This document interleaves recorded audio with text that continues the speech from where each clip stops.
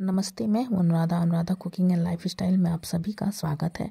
और आज मैं बिल्कुल यूनिक स्टाइल में पालक पनीर पराठे की रेसिपी लेके आई हूँ तो पूरी वीडियो को ज़रूर देखें। तो आइए मैं इसकी पूरी रेसिपी बताती हूँ।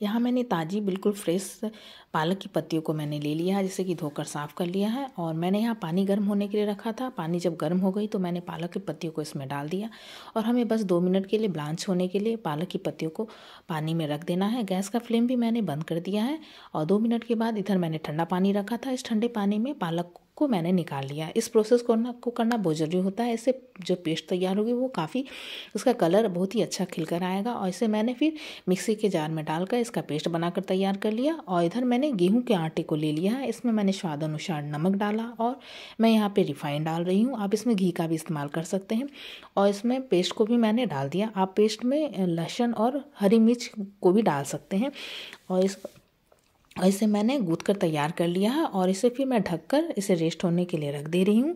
जब तक हमारा आटा रेस्ट होगा, तब तक मैं चटनी बना लूँगी। चटनी बनाने के लिए मैंने यहाँ पे कढ़ाई में तेल डाल दिया है और अब मैं इसमें लगभग आधी कटोरी में चने का दाल का इस्तेमाल कर रही हूँ। इसमें हमें एक हरी मिर्च थोड़ी सी अदरक का टुकड़ा, तीन से चार लहसुन की कलियाँ को मैंने डाल दिया है, इसे मैं मिला दे रही हूँ और मैंने यहाँ पे एक कटोरी मूंगफली के दाने को लिया है और इस मूंगफली को भी मैं इसमें डाल दे रही हूँ और हमें बिल्कुल धीमी आँच पर सारी चीज़ों को अच्छे तरीके से फ्राई कर लेना है ताकि जो मूँगफली है हमारी अच्छे तरीके से फ्राई हो सके। जब मूंगफली फ्राई हो जा हो जाती है तो मूंगफली के जो दाने होते हैं वो दाने उनके फटने लगते हैं।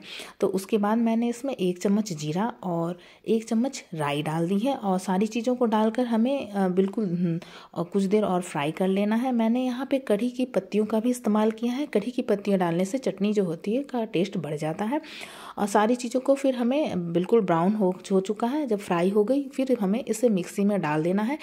ठंडी होने के बाद मैंने सारी चीज़ों को मिक्सी में डालकर एक बार मैंने सूखा ही इसे चला दिया था। उसके बाद मैंने इसमें स्वादिष्ट नमक डाला और धनिया की पत्तियों को डाल दिया और थोड़ी सी पानी डालकर मैंने इसका बिल्कुल फाइन पेस्ट बनाकर तैयार कर लिया है और अब मैं इसमें नींबू डाल दे रही हूँ और चटनी हमारी बनकर बिल्कुल तैयार हो चुकी है। इस तरीके से एक बार चटनी बनाए और पराठे के साथ सर्व करें, ये काफ़ी टेस्टी चटनी बनकर तैयार होती है।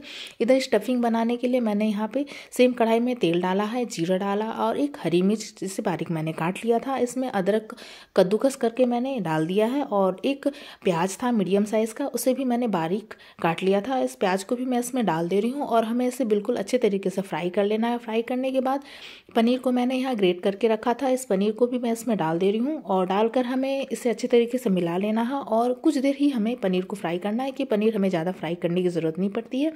और अब मैं इसमें स्वाद अनुसार नमक डाल दे रही हूँ। और सारी चीज़ों को फिर से एक बार मैं मिला दूँगी और इसमें धनिया की पत्ती से मैं ऐसे गार्निश कर दे रही हूँ। तो स्टफिंग भी हमारी बनकर बिल्कुल तैयार हो चुकी है और स्टफिंग को मैं अब ठंडा होने के लिए रख दे रही हूँ। इधर आटा भी हमारा जो रेस्ट हो चुका था, इसे भी मैं एक बार फिर से लेकर इसे मैं अच्छे तरीके से एक बार फिर मिला ले रही हूँ और इसकी लोई हमें काट लेनी है। जो पराठे की साइज़ की हमें इसे लोई ले लेनी है और लोई को लेकर फिर मैं इसे अच्छे तरीके से इसकी लोई को गोल करके और हम मैं इसे बेल कर तैयार कर लूँगी। तो इस तरीके से आप भी इसे बेल लें और जो स्टफिंग थी, इसे स्टफिंग को फिर चारों तरफ़ से इसे फैला लें। इस तरीके से अगर आप पराठे में स्टफिंग करेंगे ना तो आपके पराठे की स्टफिंग चारों तरफ़ से फैल कर आती है और पराठा हमारा काफ़ी अच्छा बनकर तैयार होता है। और फिर हमें इसे चारों तरफ़ से फोल्ड कर लेना है, क्योंकि आज जो मैं पराठे बना रही हूँ, ये बिल्कुल स्क्वायर के शेप में इसे पराठे बनाने वाली हूँ। इस शेप में आप ज़रूर बनाएँ। ये ये जो होती है, पराठे काफ़ी अट्रैक्टिव देखने में भी लगती है और बच्चे इसे काफ़ी ज़्यादा पसंद करके खाते हैं। क्योंकि कुछ अलग सा लुक इसमें आ जाता है और इस तरीके से स्टफिंग अगर डालते हैं तो स्टफिंग भी चारों तरफ़ पराठे में फैल कर आती है। तो इसे जब मैंने बेल लिया, फिर मैंने इसे तावे पर डाल दिया है और एक तरफ़ से सीख चुकी थी तो मैंने इसे पलट दिया है और इसे अलट पलट कर हमें पका लेना है। और अब मैं इसमें देसी घी डाल दे रही हूँ। आप जो भी ऑयल डाल सकते हो, लेकिन मैं ऐसे देसी घी में ही बना रही हूँ और इसे हम अलट पलट कर देसी घी डालते हुए हमें इसे अच्छे तरीके से पका लेना है। तो इस तरीके से एक बार इस पराठे को आप ज़रूर बना के ट्राई कीजिएगा। मेरे ट्रिक से, ताकि आपके पराठे आपको काफ़ी ज़्यादा पसंद आएँगे। इस तरीके से बनाते हैं तो पराठे आपके बिल्कुल भी नहीं फटेंगे और सारे बिल्कुल फूले फूले पराठे आपके बन के तैयार होंगे और काफ़ी ये पराठे सॉफ्ट भी बनते हैं और इसका टेस्ट बिल्कुल एक अलग सा टेस्ट आता है। इसका लुक भी अलग होता है। आप देख रहे होंगे ये पराठे कितने अच्छे तरीके से फूल चुके हैं किधर भी कहीं से भी ये फटे भी नहीं हैं और अच्छे से फूले फूले बनकर तैयार होंगे। इसी तरीके से सारे पराठे को मैं बेल तैयार कर लूँगी और सारे पराठे को मैंने बनाकर तैयार कर लिया है। और इस पराठे को मैंने चटनी और टोमेटो केचप के साथ सर्व किया है। टोमेटो केचप बच्चों को काफ़ी ज़्यादा पसंद आती है तो उन्हें बच्चे खाना बहुत ज़्यादा पसंद करते हैं। और एक बार मेरी तरीके से इस पराठे को ज़रूर बनाकर ट्राई कीजिएगा। इसका टेस्ट काफ़ी अच्छा आता है और इसे, इस चटनी को भी ज़रूर बनाइएगा। इस पराठे के साथ इस चटनी का कम्बिनेशन काफ़ी अच्छा होता है और इसे मैं तोड़कर भी दिखा दे रही हूँ।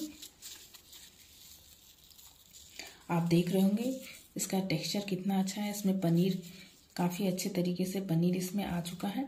तो हमारा पराठा काफ़ी अच्छा टेस्टी और हेल्दी बना है। एक बार आप भी मेरे तरीके से इस पराठे को बनाएँ और मेरी वीडियो कैसी लगी, मुझे कमेंट करके ज़रूर बताइएगा। वीडियो अच्छी लगे तो चैनल को लाइक से सब्सक्राइब करना बिल्कुल भी ना भूलें। फिर मुलाकात होगी एक नई रेसिपी के साथ, तब तक के लिए अपना ध्यान रखें। धन्यवाद।